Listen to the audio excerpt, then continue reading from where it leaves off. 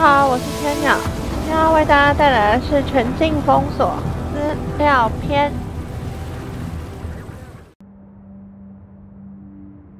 终于，我们剩下 A 扣了。今天来看 A 扣的部分。不过，嗯，因为它不能重新播放当时的状况，然后地图上有点消掉，我也找不到了，所以还是建议。如果有玩的话，去找一下，现场看比这个一点点的文字说明还要好很多。啊这个是迎接世界末日的大型屋顶派对。那时候找到的时候，他们还蛮疯的，完全就不怕这个病毒。然后这个是协助复原工作的工人被联合作战部队要求撤离。不满他们所做的事，白忙一场，工人间开始打架，直到一名联合作战部队人员开枪杀死了一名工人。访谈：瑞克瓦雷斯试着从联合作战部队军官那里取得关于暗区本质的意见，但不太顺利。灾难紧急应变署 （DERA） 生病的男子在试着通过管制区时，试图掩盖自他已受到感染的事。他和他的妻子被一名灾难紧急应变署员工挡下。他立即注意到他生病了，一名联合作战部队警官强制将他带走，做进一步的评估。匈牙利炖肉，一群年轻平民围着一桶油桶火堆卷卷缩在一起，试图在煮匈牙利炖肉时保持温暖。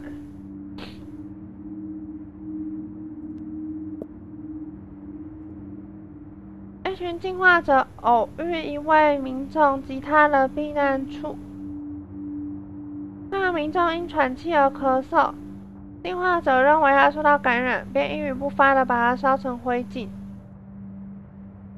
这个我好印象，那个那个民众说他他是那个气喘，然后给他看药，但是进化者还是把他烧掉了。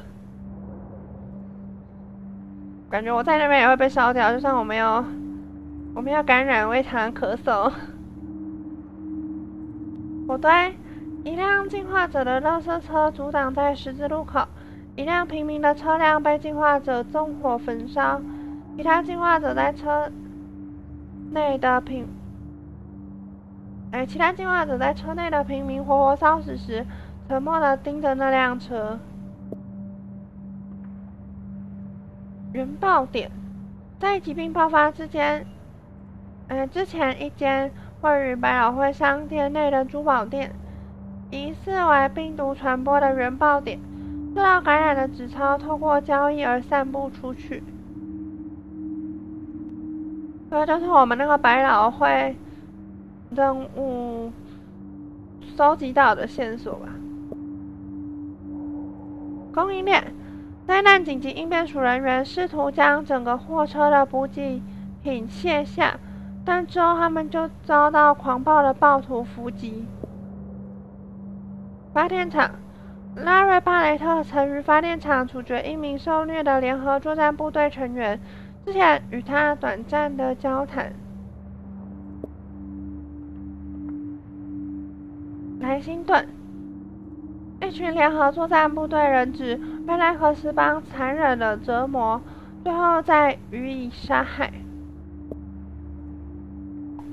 原来克斯邦呢是最最坏的。自从唱，一位游民围着一个燃烧的油桶替手取暖，他们穿的很重，很厚重，尽管衣服破烂，还是一起合唱。在现场的话，可以听得到他们的歌声。一支幸存者军队巡逻队在住宅街上移动，用喇叭广播宣称这个区域现在在戒严令的管制之下。不遵守的人将会受到严厉的处罚或处死。抗议！两位少女身处抗议群众之中，他们都惊讶于这怪异的安静。直到有人对一排联合作战部队丢瓶子，才让群众陷入混乱。好心人，一群好心人帮助一名女人抵挡原本打算抢劫她钱包的强盗。司法制裁：两名警察刚驾驶他们的巡逻车撞击一位捂着刀的疯男人。那名男子实际上正在半空中，他只穿着他的内裤，一件披风，挥舞着刀，根本就疯了。隔离墙，一群赖克斯邦在隔离墙的另外一端挑衅幸存者军队。其中一名转起来试图翻墙过去，但立刻被狙击手开枪射中头部。我记得好像在哪个记录里面有看到讲到那个幸存者军队的的狙击非常的厉害，赖克斯邦都害怕。幸存者军队的士兵正袭击一栋住宅建筑，并强行驱逐住户。其中一间公寓努力抵抗，但换来以大屠杀作结。失踪人口：一条放满一排又一排尸袋的大巷子，其中一面墙上贴满上千张失踪人口照片。有个人问了某个跪在众多尸体旁的男子，是否看到他的妻子。那名男子痛斥他的麻木不仁，因为他正在替他所爱的人哀哀悼。街头艺人，一群街头艺人，在繁忙的节庆期间，于地铁楼梯间演奏音乐。打雪仗，孩子们在住宅区的庭院里打雪仗。牧羊人，一群。一小群宗教团体决定要冒着个人健康的风险，照顾一群生病的人。不知道他们后来怎么样。诊所，一名护士试图说服医生抛弃病患，才能在赖克斯邦进入诊所前逃走。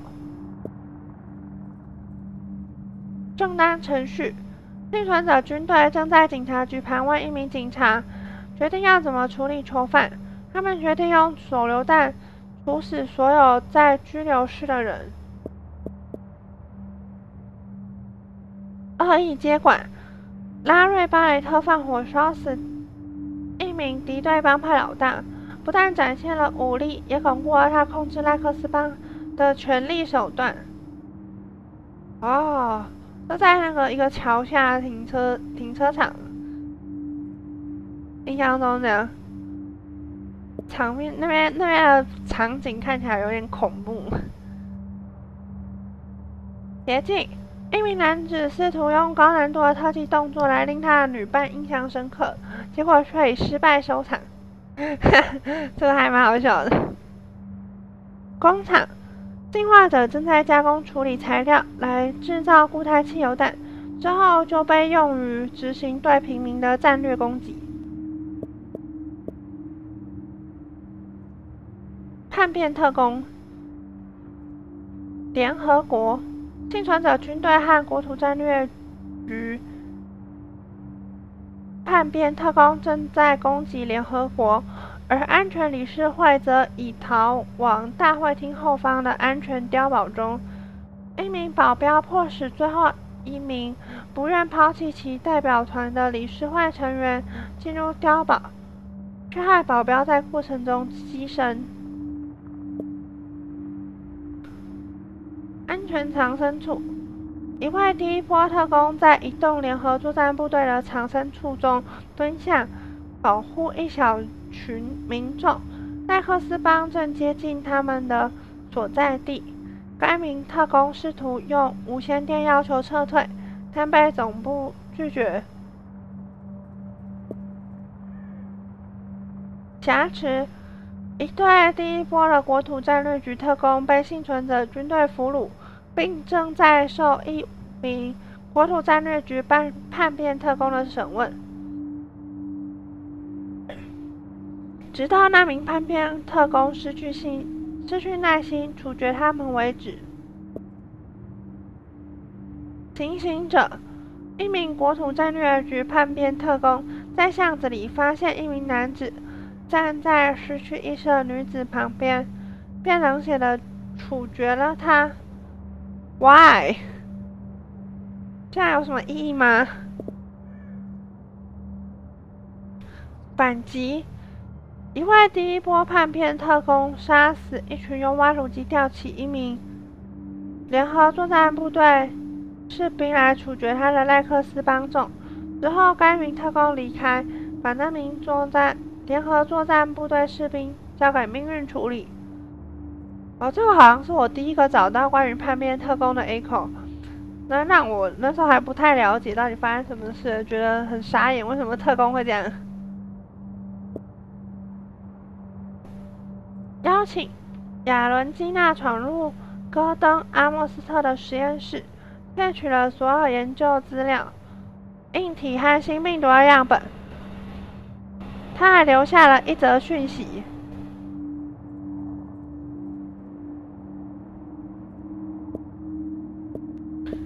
其实我还是，最后只有说我，只是最后那个证据。但是，到底这个犯人是谁？是这个潜入的亚伦基娜，还是阿莫斯特本人？我就要到现在还没搞清楚。如果有人看懂了，可以告诉我一下。波海勒赫，一群平平民百姓被夹杂在联合作战部队政报警察和暴力掠夺者们的火线中。庇护所，一名女子在她朋友睡在附近时，把她生存指南当作日记来写入她的想法。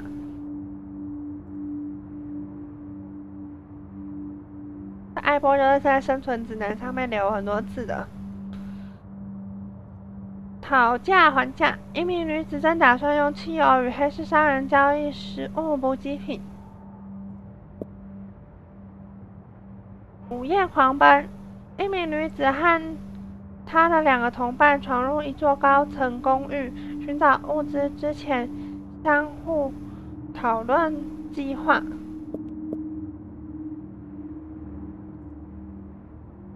对峙，波凯赫勒与国土战略局叛变特工亚伦基娜不期而遇。诶，有这件事情哦，我都忘了。奇迹，拍不死。尽管一切，这一切已经发生，一名男子仍怀疑自己怎么还活着，于是他从脑袋中萌生一种疯狂的想法。一名男子决定要来测试他的怀疑，并施展信仰之跃。这个家伙一天玩刺客。一名男子与一名女子正在讨论现实的状况以及他们所目睹的事。这其实还蛮……虽然看起来好像他很蠢的，但是最后找到这个。A 口的时候，他的状态写的是不明，并没有说他死了，所以说不定他真的可以信仰之月。刘海色，不是刘飞的刘飞的姐姐还是妹妹啊？刘海色尝试用其他东西换取食物，后来拿起他的吉他为哈德森营地内的难民演奏。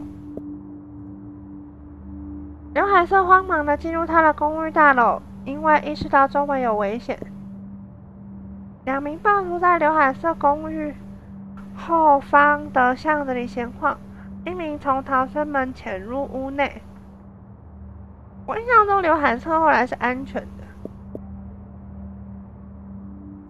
麦克杜弗雷被回报为失踪人口的麦克杜弗雷，把药品和补给品放入行李袋。准备要拿去与买家交易。艾克杜弗雷正要前往预定地点，却遭到扫荡的进化者，却遇到扫荡的进化者，好不容易避开，才没被发现。艾克杜弗雷以为只是一般交易，却走入陷阱，因为有暴民企图绑架他，以拯救他们自己的同伴。朱蒂沃尔特斯，朱蒂沃尔特斯试图不顾瑞克瓦雷。斯的坚持，在威西克斯公司一边吹哨，一边进入他的办公室。心烦意乱的朱迪沃尔特斯被叫去开会之前，从他的电脑将敏感的公司资料下载到 USB 随身碟。朱迪沃尔特斯试图说服威尔克斯重新考虑该公司只注重治标，而不将他们研究分享出去。但却不成功。维尔克斯保全试图扣留朱迪沃尔特斯，却被正要逃离大楼的他用防防狼喷雾攻击，然后他出门口就被撞死。朱迪沃尔特斯被汽车撞击身亡，目睹这一切的人们皆震惊不已，有人则看到。瑞克瓦雷斯从他皮包散落一地的东西捡走一只 USB 随身碟。艾利克西斯官，一位忧一个为忧郁患忧郁症患者所开设的支援团体，在此混乱之际，仍继续聚会。艾利克西斯官的朋友们。不断尝试要与他联系，但一直没有成功。在一阵愤怒后，惊慌失措又难过的艾利克西斯官弄坏了他的手机。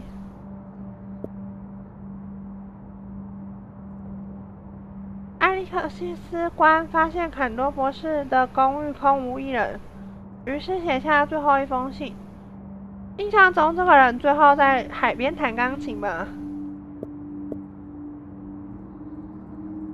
伯纳德·甘博在除掉其他幸存者军队的同伴后，伯纳德·甘博将加密讯息传送给联合作战部队，派去撤出联幸存者军队逃兵的联合作战部队小队，正等着伯纳德·甘博与他们联络。派去撤出伯纳德·甘博的联合作战部部队小队遭到。伏击，全被幸存者军队杀害。然后这个伯纳德·甘博最后被我们救了出来。贵族小队正在巡逻的贵族小队介入了一场抢劫，并化解一场可能发生的暴力局面。道格萨顿离开贵族小队前往侦查之际，其他成员却被一群赖克斯帮众伏击。莱克斯邦将贵族小队全部消灭之后，道格萨顿现在是其成员中最后的幸存者。贵族小队的成员最后幸存者已经发现杀害其友的赖克斯邦在哪里。贵族小队的成员最后幸存者袭击了赖克斯邦的藏身处，试图将俘虏拯救出来。然后最后贵族小队就全灭了。那我们所有的资料都看完了，就到这边。喜欢的话可以帮忙按喜欢、分享出去、订阅我们的频道，获得最新影片的资讯。谢谢大家收看，拜拜。